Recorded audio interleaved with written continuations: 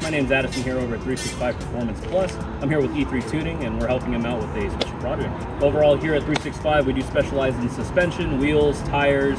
Uh, we do aftermarket uh, upgrades and such as well for vehicles, uh, whether it be Subaru, Tesla, Lexus, uh, some Euro models, but to be honest, mostly JDM uh, models is our specialty, if anything.